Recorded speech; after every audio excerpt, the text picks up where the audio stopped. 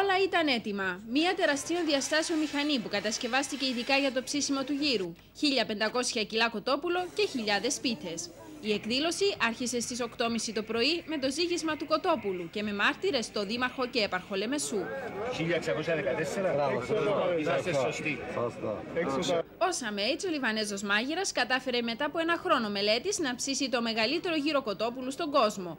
Στόχος ήταν η καταχώρησή του στο βιβλίο Ρεκόρ Γκίνες και η κατάρριψη του παγκόσμιου ρεκόρ που κατέχει ένας Τούρκος, ο οποίος ετοίμασε ένα γύρο 1030 κιλών.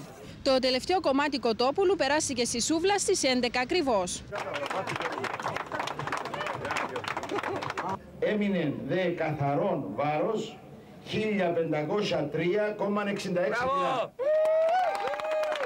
Το ύψος του κόνου του γύρου ήταν 151 εκατοστόμετρα.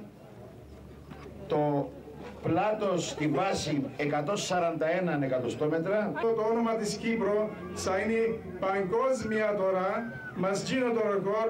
Το ρεκόρ το προηγούμενο ήταν 1030 κιλά, το είχε ένα Τούρκος και εμείς εσπάσαμε 500 κιλά που πάνω από τον Τούρκο. Μέσα σε μισή ώρα το κοτόπουλο είχε ψηθεί και άρχισε το σερβίρισμά του μέσα σε λιβανέζικες πίτες με σκορδαλιά ή ταχύρι.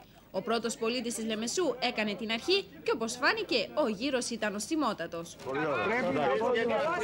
Δεκάδες ντόπιοι και ξένοι καλοφαγάδες έσπευσαν να παρακολουθήσουν το ψήσιμο του μεγαλύτερου γύρου στον κόσμο αλλά και να τον δοκιμάσουν. Πήρα και εγώ το γύρο μου και ε, είναι κάτι το μοναδικό για την Κύπρο. Είναι ωραία πολλά.